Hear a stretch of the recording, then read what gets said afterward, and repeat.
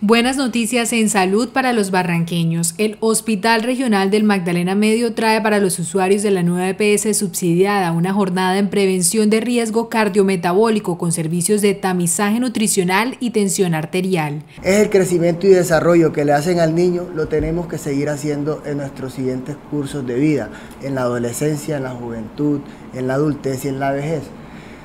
Estamos acostumbrados a solamente ir al médico, es en la enfermedad o sea, porque me duele la espalda, o sea, porque me estoy, tengo un dolor al orinar o porque tengo dolor de cabeza.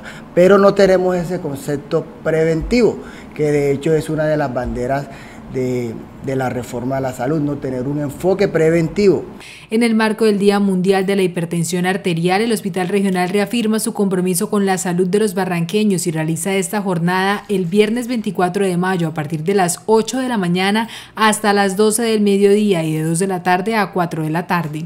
Todos los usuarios que asistan al hospital regional de los diferentes EPS, pero nos estamos enfocando más en la población subsidiada de nueva EPS, que son las que tienen el, digamos, el, derecho a, eh, y que están adscritos al hospital, a participar de todas las intervenciones. Es decir, que si va un paciente de Policía Nacional, un paciente de Sanitas o de Famisanar, igual los vamos a tamizar. ¿Qué es tamizar?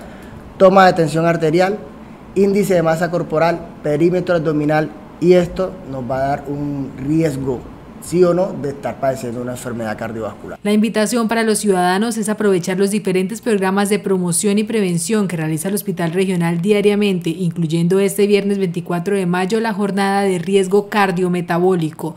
Con su documento de identidad podrá acercarse y convertirse en beneficiario de la atención que brinda el Hospital Regional para Barranca Bermeja.